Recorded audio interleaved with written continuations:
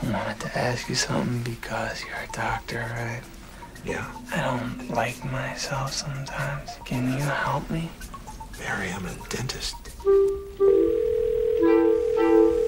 Hi, this is Georgia. This is Barry Egan. So what do you do, Barry? I have my own business. Uh, we have a non-breakable handle. Let me demonstrate for you. You're married, aren't you? No. Barry, it's your sister.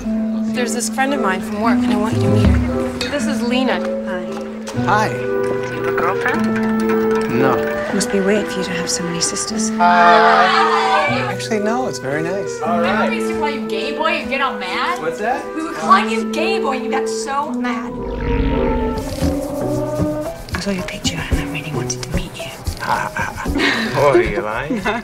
I didn't want to get too far along going out and be hiding something. This is Barry. Hey, it's Georgia. How did you get this number? I was wondering if maybe you could help me out with some money. Yeah, no. I'm sorry. You've just made a war for yourself that you can't afford. I'm going to Hawaii on Friday. Hawaii. I was thinking about going there. Really? I'm gonna start a collection of puddings and coupons that can be redeemed for freaking flyer miles. That's insane.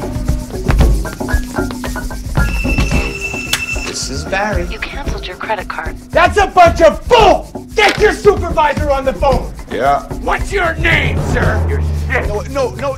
Shut up! Shut up! Shut, shut, shut, shut, shut up! Are you threatening me? Yes. That wasn't good! You're dead!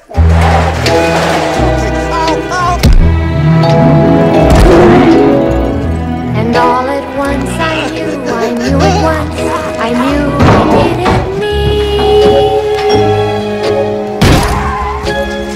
so much strength in me, you have no idea.